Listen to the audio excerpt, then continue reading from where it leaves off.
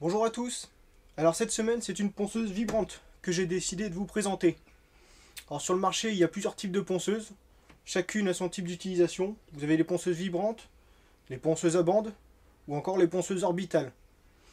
Ici c'est une ponceuse vibrante de type multifonction. Alors avant de vous en dire plus, on va procéder au déballage de celle-ci.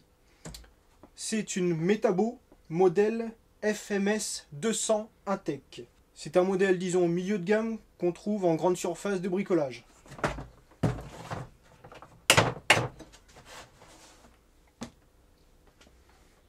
Dans ce coffret, on y retrouve vraiment l'essentiel.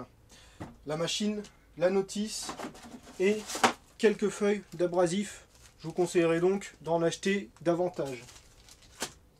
Le coffret n'est pas très spacieux, mais il a l'avantage d'être très solide. Voici la ponceuse. Alors comme vous voyez, c'est un modèle à paume. Modèle très compact, surtout très léger, 1,2 kg sur la balance. C'est vraiment très peu, c'est très pratique lorsqu'on a des travaux à faire en hauteur, lorsqu'on a le bras tendu, on ne se fatigue pas inutilement avec une grosse machine faite pour du dégrossissage. Alors, la particularité des ponceuses vibrantes comme celle-ci, ponceuse vibrante multifonction, c'est justement la compacité, la légèreté, mais c'est destiné à des travaux, disons, de finition ou de petites rénovations.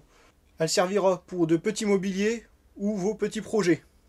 Comme vous le voyez, elle est munie d'un petit bac de récupération des poussières avec un filtre à pli.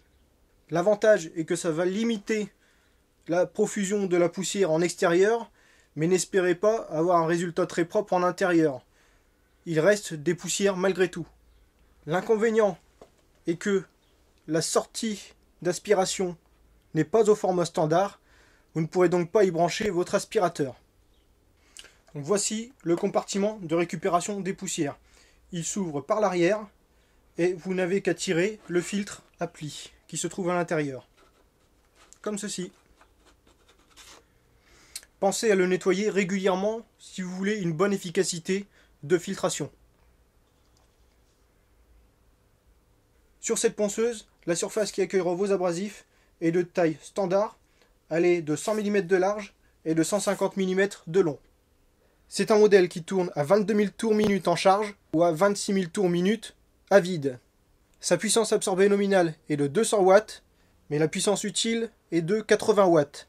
Au niveau de l'utilisation, c'est très simple. Sur cette machine, il n'y a pas de variateur de vitesse vous retrouverez simplement un interrupteur marche arrêt sur l'avant de la machine. Pour la démonstration, je me suis donc attaqué à une petite rénovation. C'est un banc en bois qui passe toute l'année à l'extérieur et qui subit donc les intempéries, la pluie et l'exposition au soleil prolongée. Ce banc avait reçu trois couches de lasure il y a environ trois ans et le bois a donc vieilli. Il avait besoin d'être poncé pour recevoir de nouvelles couches de protection.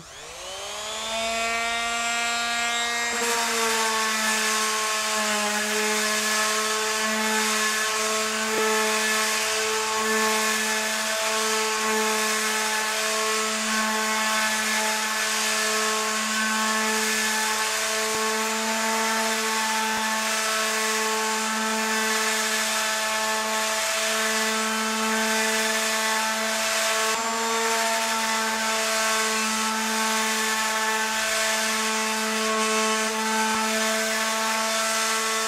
Comme on le voit ici, l'efficacité n'est pas optimale.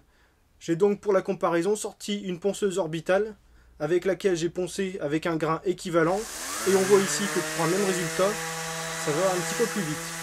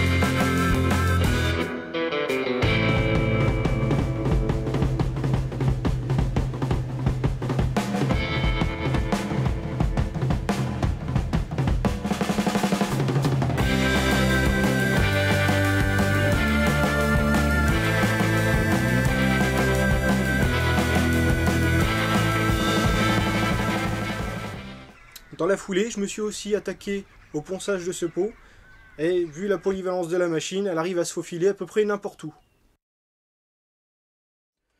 Pour la conclusion, je vais vous apporter un petit peu mon ressenti. J'ai noté trois points négatifs à cette machine. Le premier, le bouton marche arrêt, pas facile à manipuler. Le second, l'aspiration des poussières, très peu efficace. Le compartiment se remplit très très peu de poussière. Et le troisième point, une puissance, disons, un petit peu juste. La machine manquerait un peu de couple et vient affaiblir à certains moments. Le côté positif, c'est la polyvalence de la machine. Elle est légère, elle est fine. Sa forme en triangle lui permet de se faufiler n'importe où. Et son prix est relativement faible. Elle viendra donc plutôt en complément d'une ponceuse orbitale ou d'une ponceuse à bande. Elle ne remplace pas les autres. Voilà, et bien je vous dis à bientôt pour une prochaine vidéo. Salut